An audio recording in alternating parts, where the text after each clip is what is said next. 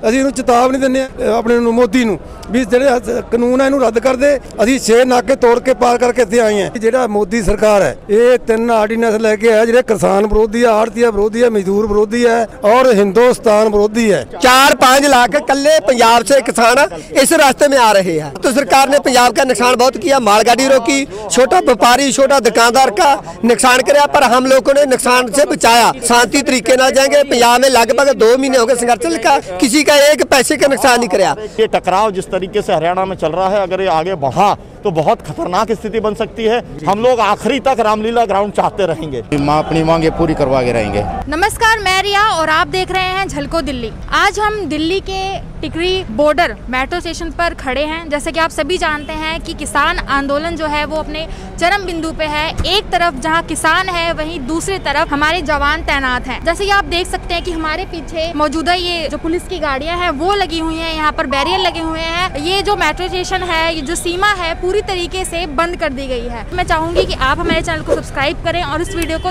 Share करें। आप देख सकते हैं, जो किसानों का जनसलाब है, वो पूरी तरीके से उमड़ चुका है। अब उन्होंने नारे लगाना शुरू कर दिया है।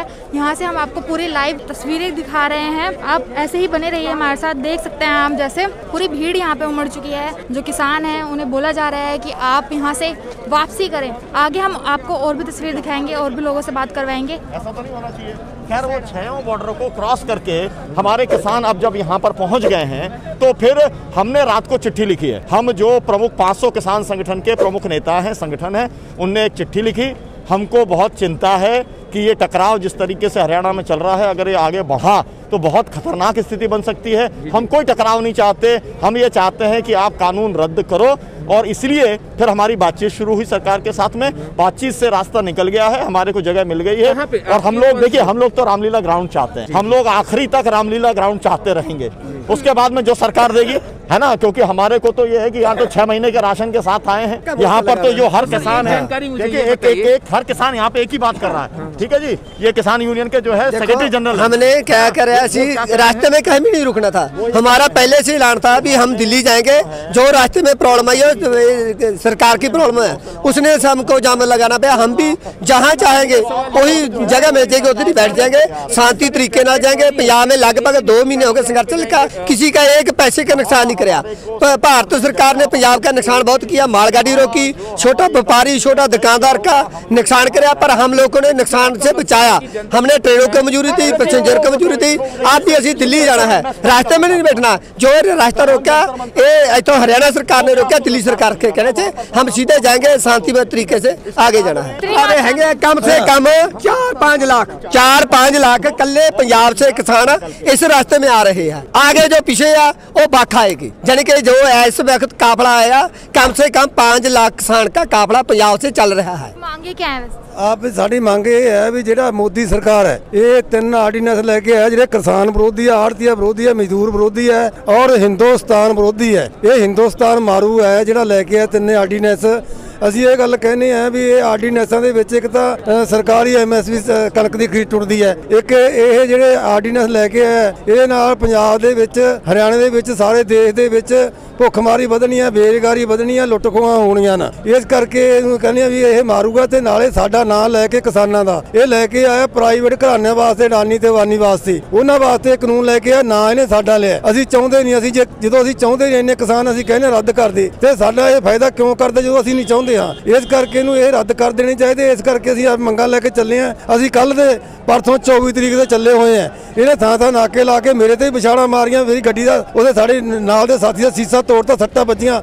ਇੱਥੋਂ ਇੱਥੋਂ ਅ- ਅਥਰੂ ਗੋਲੇ ਸਾਡੇ ਇਹਨਾਂ ਨੇ, ਦੇ ਬੰਬ ਠੋਕੇ ਸਾਡੇ ਤੇ।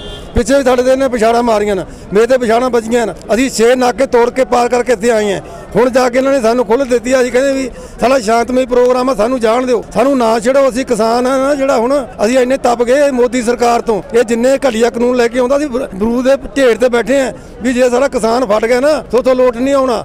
ਅਸੀਂ ਇਹਨੂੰ ਚੇਤਾਵਨੀ ਦਿੰਦੇ ਆ ਆਪਣੇ ਨੂੰ ਮੋਦੀ ਨੂੰ ਵੀ ਜਿਹੜੇ ਕਾਨੂੰਨ ਆ, ਇਹਨੂੰ ਰੱਦ ਕਰ ਦੇ ਤੇ ਜਾਂ ਨਵਾਂ ਇੱਕ ਆਰਡੀਨੈਂਸ ਲੈ ਕੇ ਆ, ਜਿਹਦੇ ਵਿੱਚ ਇਹ ਗਾਰੰਟੀ ਹੋਵੇ ਵੀ ਇਹ ਫਸਲ ਜਿਹੜੀ ਹੈ ਸਰਕਾਰੀ ਖਰੀਦ ਜਾਰੀ ਰਹੂਗੀ ਐਮਐਸਪੀ ਜਾਰੀ ਰਹੂਗੀ, ਇਹ ਗਾਰੰਟੀ ਲਵੇ। ਇਸ ਕਰਕੇ ਅਸੀਂ ਆਹ ਸੰਘਰਸ਼ ਨੂੰ ਚੱਲੇ 5 ਲੱਖ ਕਿਸਾਨ ਅਸੀਂ ਪੰਜਾਬ ਤੋਂ ਚੱਲੇ ਆ मैं एक किसान का बेटा हूँ मांडोठी से हूँ और मैं अपने भाइयों के साथ हूँ ठीक है और हमारी भाइयों के साथ दिल्ली पहुंचने की वो करता हूँ कुछ ठीक है जैसे आपको मंजूरी दे दी जाएगी तो आप कितने समय के लिए रुकेंगे वहाँ पे हम हरदम रखेंगे चौबीस घंटे जब तक कि कोई उस पर कानून नहीं आ जाता हाँ जब तक वही माँ अपनी मांगे पूरी करवा के रहेंगे हम अपने भाइयों के साथ हैं ठीक ना।